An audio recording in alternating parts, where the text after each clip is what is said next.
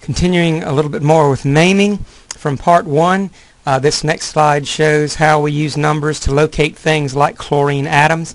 Um, works a lot the way we were previously locating things like methyl groups when we were talking about branched alkanes.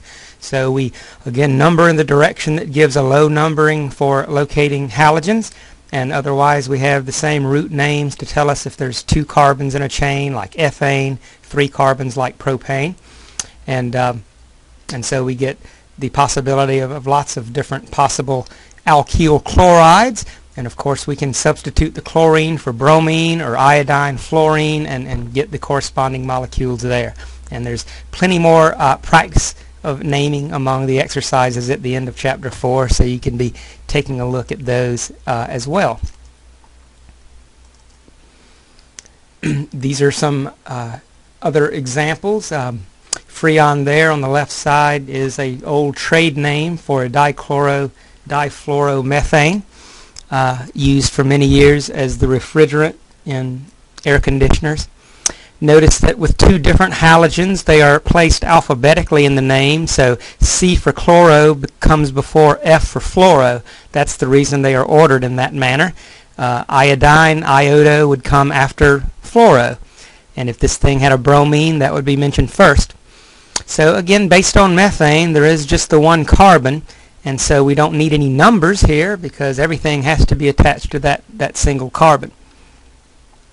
Next to that, uh, we do use numbers for this uh, 1112 tetrafluoroethane because there is another tetrafluoroethane that we would want to distinguish this one from, namely the one in which there would be two fluorines on each carbon.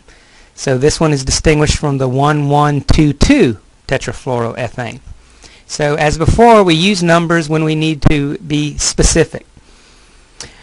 Down at the bottom, what we see is that when you have something that's both an alcohol and an alkyl halide, uh, the alcohol takes precedence. So this is numbered number one carbon on the left, named as a 1-propanol, and that puts the bromine on carbon number 3. So that's a new rule that we will encounter in this chapter when we have both halogens uh, in an, an hydroxy group in the same molecule. It's considered more important that it uh, corresponds to an alcohol. So our suffix OL indicates that and our numbering um, shows that preference as well. This chart is handy for comparing some basic properties of, uh, of, of halogenated compounds as well as the alcohols there. Uh, what I stuck in here is what you see in blue. That was not in the original table. But if this atom X is just a hydrogen, then you have a lineup of regular alkanes, methane, ethane, propane, pentane, hexane, and their corresponding boiling points.